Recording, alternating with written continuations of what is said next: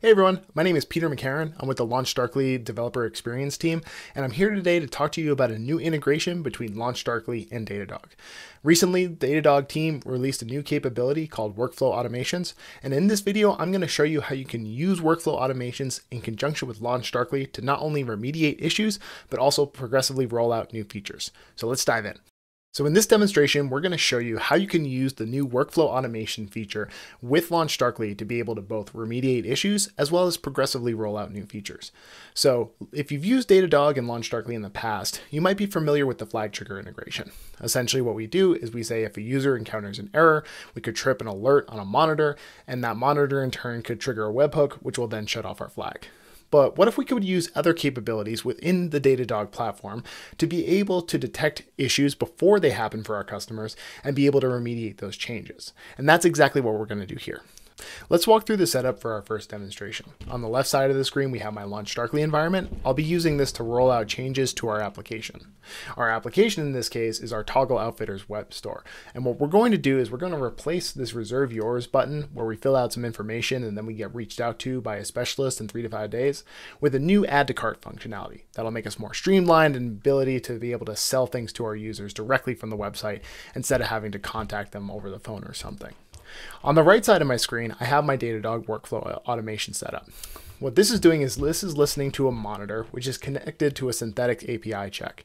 The API check is going to see if my API is functioning properly, and if it is, it's going to return a Slack status that says the API check has passed, and if it's not, it's going to turn my flag off and it's going to tell me in Slack that there was a problem. So let's turn the feature on and see what happens. So I turn this on, we roll our changes out. We see our add to cart button. Let's give it a test and see if it's working. Oh no. All right. Looks like there was an error. Looks like there's a problem. We should probably go turn that flag off. Right now that we're doing this as a very manual process, right? We're now having a live environment where our customers could run into errors. So what if instead we could remediate the issue using this workflow? So we'll turn this off and then we're going to go into our monitor and we're going to resume scheduling on that. So now what we're doing is we're checking this pathway of API slash checkout to make sure that things are functioning properly. If they're not, it's going to set off a monitor and that's going to disable the feature for me. So imagining again, we've scheduled this out, we've turned our changes on, maybe we didn't know that that error was happening or this was happening at an off hour. What we can do is we can run this test. Test is going to load. And as you can see, we're already starting to get error messages. Now, if you look at the left side of our screen, you might have missed it, but this actually ran and it shut off the flag for us. So what exactly happened? Well, if we go back to our workflow, we can go into our run history, and you'll see that we had a successful run where we said this monitor was triggered. So we had that monitor set off the alert to our workflow automation. It then checked the status of the monitor to verify that it was in an alert status. We did in fact see the overall status was alert and then we turn the flag off. And if I go over into my Slack screen, you'll see that we have a new message saying that there was a problem with the new billing API. So think about how quickly that happened. We never had to initiate any action on our end as a user. What happens is we automated this process where we could say, we know that there's this backend API that could cause problems if it's not functioning correctly. We checked the monitor, that monitor set off an alert, which triggered this workflow to shut off the flag for us automatically. Pretty awesome, right? Well, let's think about this from the other side. How could we use this same kind of setup to be able to automate the rollout process and be able to increment changes? And I'll show you that next. So now that we've seen how we can use workflow automation to be able to remediate issues in conjunction with LaunchDarkly, now we're going to show you how you can use the same type of functionality for a rollout instead of just turning a flag on or off. On the left side of the screen, we went ahead and we fixed our problems on our add to cart button. Everything seems to be working now. We can add items, we can clear them out. Everything is great. At this point, what we'd like to do is we'd like to update our product catalog to include some additional new products. And in order to do that, we're going to once again use LaunchDarkly. I already went ahead and set up this flag where we have this new product experience access flag. And we're going to start out by rolling out only 25% of our users seeing the new product catalog available. Right now it's currently off and we're going to use the Datadog workflow automation to turn that on and then increment the changes. On the right side of the screen, you're going to again see one of my workflows. This one's going to be a little bit more complex. We can go ahead and zoom out here.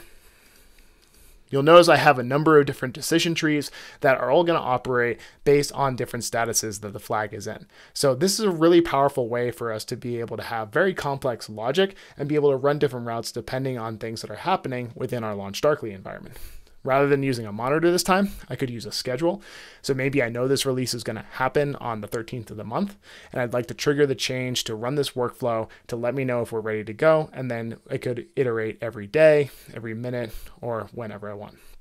Again, we're going to run a synthetic health check to make sure our backend API is working.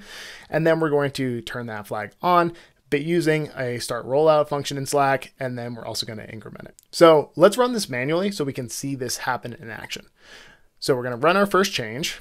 I have some parameters that I've already hard coded in there. We check our status to make sure things are working. And we see that we're at our first decision tree. If I go over into my Slack, it says the API appears to be up and running. Should we continue the rollout? We can go ahead and approve this message. So it shows that I approved it. And now you see that this this changed. And if I refresh my LaunchDarkly screen, you'll notice that our flag has now been turned on again with that same 25 and 75%. So this is great. Now let's imagine that this has been going for a little while and we have this manual schedule, we have this schedule going where it's gonna run every day. So fast forward 24 hours, we run this again, use the same variables, and this time our logic is going to look a little bit different. Whereas last time it asked us if we wanted to roll out the feature, what's going to happen this time is we're going to get a different decision tree. If I go back into my Slack, it says the initial rollout was a success. Should we increase the audience size uh, so they can see our new products? And we say, yeah, that sounds great. We're going to approve that. So we approve this. We can refresh our screen again here.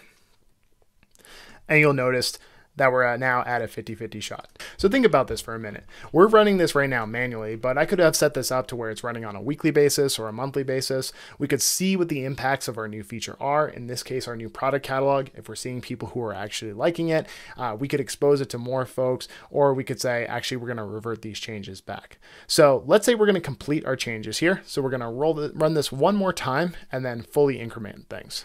So we'll change this. Going to up our increment to the remaining 50%. We'll run our changes. Once again, this is going to double check that the API is working properly. We'll again get a Slack notification asking us the initial rollout was a success. Should we increase the audience size? We can improve that. We can roll our changes out. That'll update our changes. And you'll notice that we have another decision tree here that tells us, congrats, the rollout was complete. So we were successful and able to get this over to 100%. We can look, we now see we're at 100% of our increment. And if I look at my screen here, we see we now have our new goggle features available to run. Now, what would happen if I forgot to turn this off? Fortunately, I can have the decision logic in there so I can tell my users if the rollout has already completed. So we'll run it one last time. Here we go through our workflow once again, checking to make sure that everything is correct. We go here and it says we fully rolled out the new feature. So this is a really powerful way for us to be able to utilize our observability tools in conjunction with our feature management tools to automate the rollout of our process and make sure that we can catch things as they happen in real time. So now at this point, you might be wondering, how do I get started with this tool? Well, to get started with workflow automations, go into your Datadog dashboard, look for the work, workflow automation tool, hit new workflow, and you'll be presented with a screen like this. This is where we can add our triggers as well as our different steps that will be used to execute different actions. Through most of the demos that I just did, I was using the LaunchDarkly ones. So if you type in LaunchDarkly, you'll see that we have a variety of different actions available, including things like creating a feature flag, being able to get a percentage rollout, which is what we used on the last demonstration, as well as being able to toggle a feature flag on and off. And if you're curious about where to get started, you can actually go into the workflow automation tab here, and they have these handy little blueprints that can help you get started. Just go ahead and type in LaunchDarkly, and this will show you how you can do ones like the incremental release feature like I did, as well as remediating by toggling off a feature flag.